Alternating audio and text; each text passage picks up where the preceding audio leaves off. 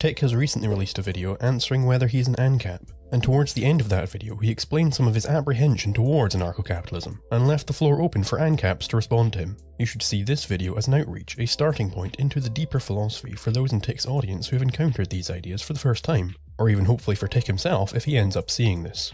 Before getting into a specific question post ANCAPs, I would like to briefly go over the positive case for anarcho-capitalism in philosophical, not strategic terms. The reason for any perceived verbosity in this section is not to gish gallop, is because I like TIK, and I think his audience deserves a complete picture of the anarcho-capitalist thesis in the shortest time possible. So, fundamentally, the problem that law poses to us is, given scarcity, there is a possibility for conflicts. How then should we deal with these conflicts? Every single political theory wrangles with this problem whether they realize it or not. Most often, the issue is left in an entirely vague form, never explicitly targeted. Anarcho capitalism is unique in this. Murray Rothbard brought over the monumental insights of Mises in economics. By bringing over Mises' science of praxeology, Rothbard was able to identify and answer this issue in concrete, scientific terms. First, we come to understand what a conflict actually is. It is not a mere disagreement. Conflicts are rather mutually exclusive actions. So if Crusoe is on a desert island and is using a stick to spearfish, Friday cannot use that same stick to stoke his fire because the stick is scarce. One man using the stick for one end excludes others from using the stick in incompatible ways. We say that if Friday tried to wrestle the stick away from Crusoe to use it for the stoking of his fire, that Friday has initiated a conflict over the use of the stick. In other words, we that Friday has aggressed against Crusoe, aggression being defined as the initiation of conflict. It is on this basis that we can understand the non-aggression principle, or NAP.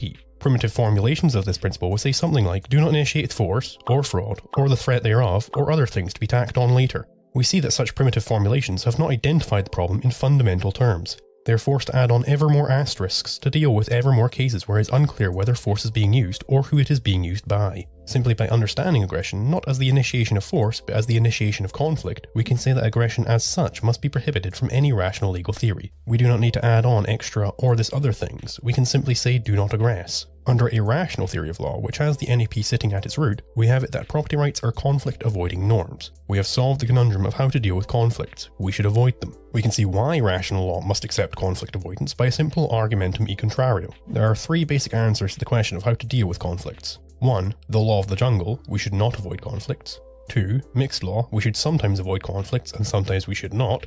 And 3. The NAP, we should avoid conflicts. Let's first consider the consequences of the law of the jungle. What would a universal acceptance of conflict engendering norms look like? If Crusoe were to take a stick from nature and try and use it for spearfishing, he would not be able to complain under this system if Friday came along and took that stick from him because Crusoe could not claim the stick as his property. The property right would rather travel from person to person, always being attached to the item itself. In other words, on such a view, there would be no distinction whatsoever between ownership and possession. We would have, in Kinsella's words, a mere possessor ethic. The issue with this view is that ownership, which we can define as the right to possess a given scarce good, is necessarily distinct from possession. If there is some dispute between A and B over who should be the one to control a given property, then both A and B must presuppose this to be the case. A is asserting that though B might be able to actually obtain control, it would nevertheless be the case that A should be the one to control it. And similarly, B is asserting that even though A might be actually able to obtain control, it would nevertheless be the case that B should be the one to control it. Kinsella elaborates on this view. What is implied in the idea that the right to possess, ownership that is, is distinct from mere possession. It means that if there is any ownership at all, and those who quarrel over things are all asserting different ownership claims, and thus presupposing ownership and its distinction from possession, then it does not accrue merely to those who take things from others. That is, if B takes a thing by force from A, this cannot in and of itself make B the owner. Why? Because if it did, that just means that C could take from B and thereby become the owner. But this just means that there is no such thing as ownership. There is only possession. Might makes right, so to speak. This contradicts the presumption that ownership and possession are different. From this very simple idea, we can see that the entire Lockean idea of first use, first own follows. Why? Because if taking some good by force from its previous possessor is not sufficient to ground an ownership claim, then by Misesian style regression, it becomes obvious that only the first possessor slash user can have an ownership claim. Every other person takes it from a previous possessor and is thus a mere possessor, not an owner. The first possessor, the person who plucks the resource from its unowned state out of the commons, is the only possessor who does not take it from someone else. This is why first possession imbues the homesteader with a unique status of ownership. Moreover, on this law of the jungle view, what exactly is to be considered a crime? Surely nothing is criminal. The question posed is how should we be dealing with conflicts? What is criminal? And the answer given is who gives a damn, might makes right. Live by your arbitrary whims. This view fundamentally rests on a mystic epistemology that considers whims to be a genuine source of knowledge as against reason. I know that TIK is fond of Leonard Peikoff, so perhaps he's already aware of the issue with this. But if he's not, or if others in the audience are not, I can give a brief demonstration of the issue with mystic epistemology in general. And for a far more broad overview, you should read Introduction to Objectivist Epistemology. The fundamental epistemic problem here is Plato's problem of universals, stated briefly as the question where do universals, concepts, come from? Either 1. There is a process that happens in the human mind to construct them from sensory data, reason. 2. They exist in the human mind from the start, 3. There are some other mystic means for humans to acquire new information completely independent of the senses. 4. Concepts don't exist. Or 5. Humans don't have epistemic access to concepts. 1 is the pro reason objectivist stance on this question. It would hold that a property theory based on arbitrary whim is not rational and is thus not true. 2 can be called the Platonist answer. Its negation is trivially demonstrated by talking to a person about a concept they have not yet learned. Here it is clear that answer 3 is the relevant one. 4 and 5 would make law itself impossible, as law is conceptual, so we can ignore those for now. Fundamentally, any sort of mystic epistemology comes down to a whim epistemology. Mystics will dress this in fancy clothes by appealing to divine revelation or innate intuition or the wisdom of masses and so on. But fundamentally, these mystic, anti rational insights come down to I think this is true because I feel like it is. On what metaphysical premises does such a view rest? What is really being said here is that if you simply think something to be the case hard enough, then it is the case. That your whims, your thoughts, your consciousness is the basis of reality. That existence conforms to your consciousness. Objectivism identifies this as the fallacy of the primacy of consciousness for this reason. This view of the law of the jungle or any other whim based theory does and must rely on the premise that consciousness, mere thoughts, have metaphysical primacy over existence. I believe that this brief overview is sufficient to give an honest man pause over such a view. But if you do want to see the folly of this more fully, you can read The Start of Objectivism, The Philosophy of Ayn Rand by Leonard Peikoff. There is also one further problem with this law of the jungle, and that is that any advocate of such a system must, on his own premises, shut up about any issues in law. First, the law of the jungle is the claim that there is no valid property rights, that whomever is able to wrestle control of a good item has done no wrong. But on this basis, surely the jungle lawyer could not complain about a man defending his property against aggressive invaders, because the second he does complain about this, claiming that rights are illusory, he then attributes rights to the aggressors, rights which he has no theoretic basis for. The right skeptics attempt to eat their cake and have it too when it comes to the issue of rights. Thus, a consistent rights skeptic actually has nothing to say about the law. He must be completely agnostic on the debate with his complete non position. But now that we have seen the failure of the law of the jungle, that it is a pure whim based, anti rational legal system, we can turn to the far more common mixed law, wherein it is sometimes just to aggress, but sometimes not. First, any sort of we must aggress in these arbitrary situations must be excluded. An arbitrary system of law would be a system of law based upon whim. Such a system cannot, for reasons already explained, be correct. It would be completely anti rational. Furthermore, I have gone over a number of these mixed law systems and demonstrated their falsehood in my video on Anarcho-Capitalism, the Solution to Law, which you can see in the card here, or by checking the reference material in the description.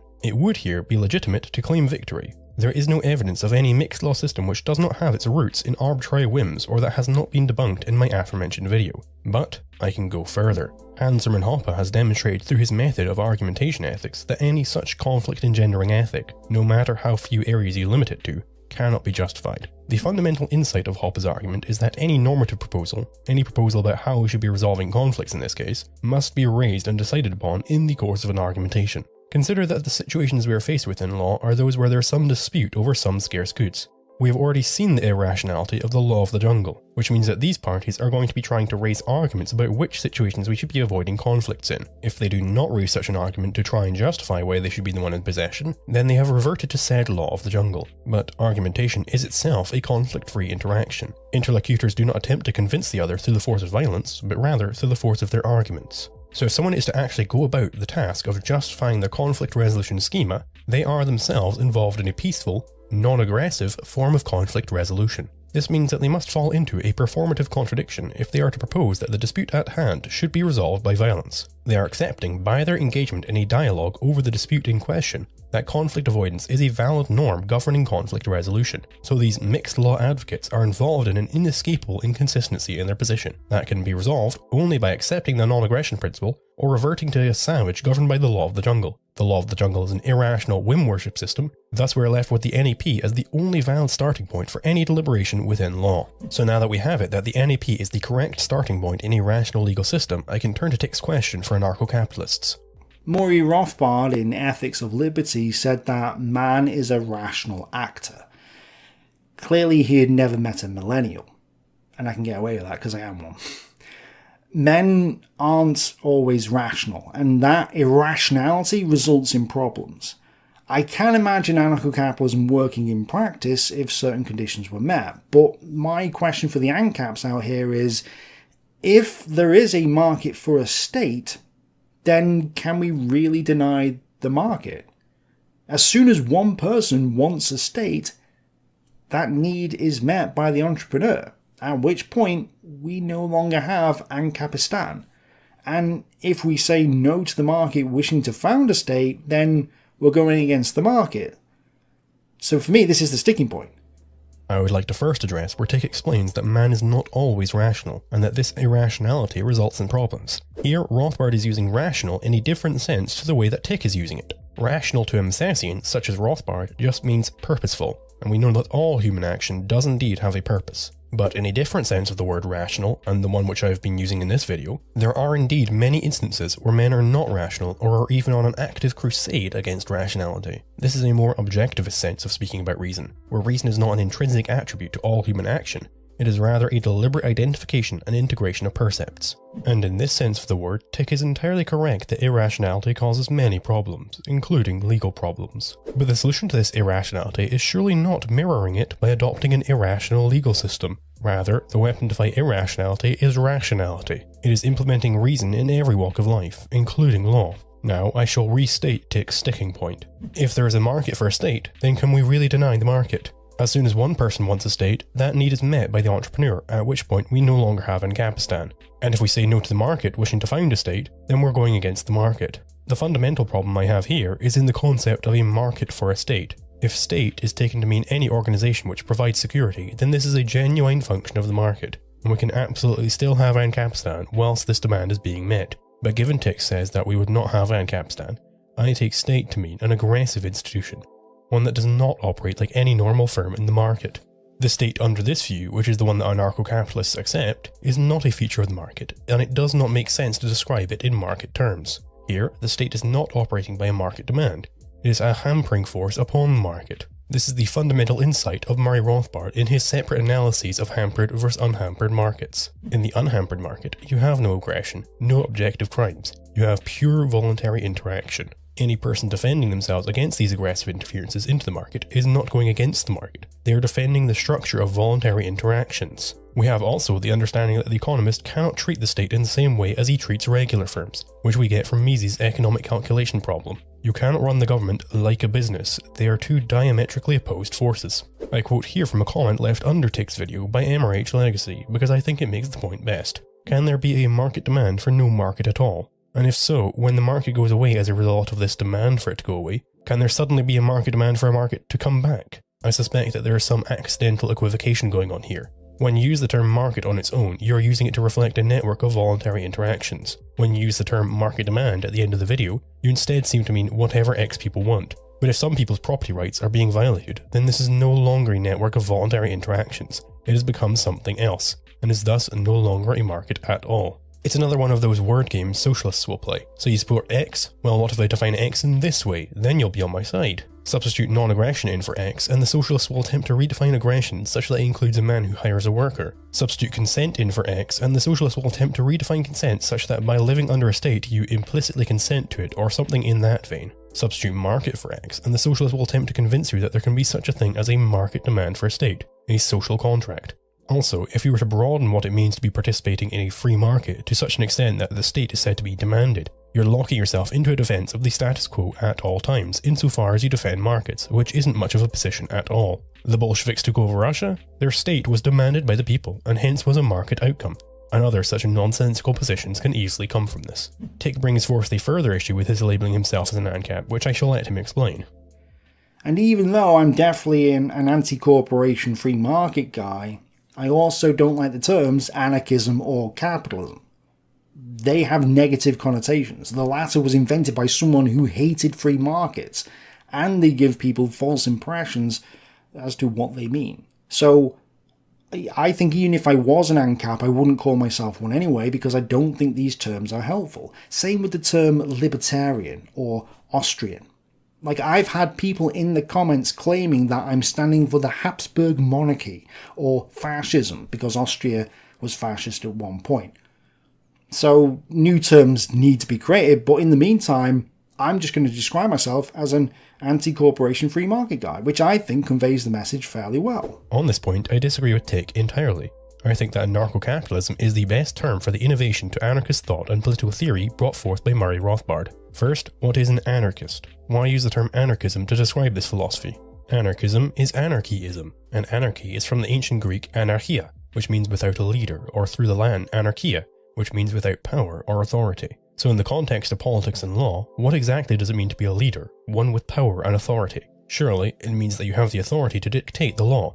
You're above the rest and you lead the rest in matters of law. Implicit in the notion of some sort of human leader with authority over the law is legal positivism, the thesis that the law is whatever those in power say that it is. Anarchism and anarcho capitalists are surely opposed to this thesis. As has been explained during this video, it is not arbitrary decrees or whim which form the basis of law. It is the objective nature of what conflict is and what is justifiable. We should not shy away from this term, it describes the position perfectly accurately. Now for the capitalism. What makes it a useful modifier term on the anarchism? On this point, I note the history of anarchist thought. Proto anarchists were those prior to Murray Rothbard. They had a vague notion of what it meant to rule others or decree law, but they did not understand this in the same scientific terms as we can now with the implementation of praxeology. This is what makes anarcho capitalism distinct. It is the introduction of Austrianism and praxeology wrought by Rothbard. Given this, capitalism is quite descriptive indeed. Austrian economics places a great emphasis on the role of the capitalist in the structure of production. Prior to marginalism, the proto anarchists would often see situations where a capitalist would hire employees as being exploitative.